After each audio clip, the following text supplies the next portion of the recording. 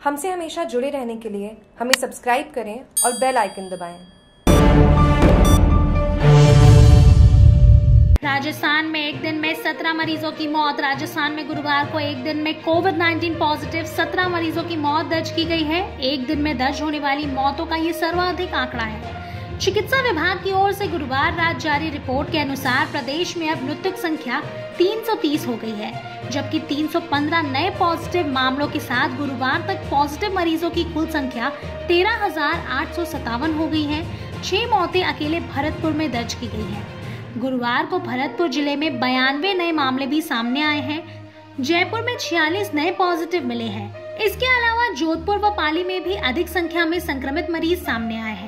चिकित्सा विभाग के मुताबिक अजमेर में पाँच, अलवर में दस, बांसवाड़ा में दो, बाड़मेर में सात, भरतपुर में बयानवे, भीलवाड़ा में तीन, बीकानेर में छह, चूरू में चार, दौसा में सात, धौलपुर में एक, डूंगरपुर में चार श्री गंगानगर में एक, जयपुर में छियालीस, जालौर में छह, झालावाड़ में पाँच, झुंझुनू में दस, जोधपुर में उनतीस कोटा में तीन, नागौर में चार, पाली में तैतीस, राजसमंद में दो सवाई माधोपुर में दो, सीकर में चौदह, सिरोही में ग्यारह, टोंक में दो, उदयपुर में चार और दो लोग जो दूसरे राज्यों से यहाँ उपचार करा रहे मरीजों में कोरोना पॉजिटिव की पुष्टि हुई है। गुरुवार को राजस्थान में एक दिन में सर्वाधिक सत्रह मौत दर्ज की गई बाड़मेर में दो भरतपुर में छह बीकानेर में दो चित्तौड़गढ़ में एक चूरू में एक जयपुर में दो जोधपुर में दो कोटा में एक मरीज़ की कोरोना से मौत दर्ज की गई। गुरुवार को राजस्थान में कोरोना की स्थिति पॉजिटिव 315,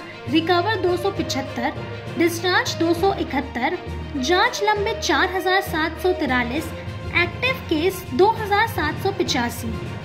राजस्थान में कोरोना की गुरुवार तक स्थिति। सैंपल लिए छह लाख चौपन हज़ार आठ सौ सोलह।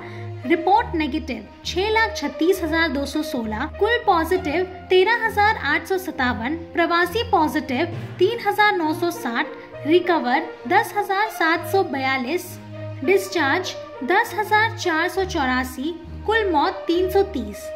जागरूक टीवी की कोरोना पर खास रिपोर्ट।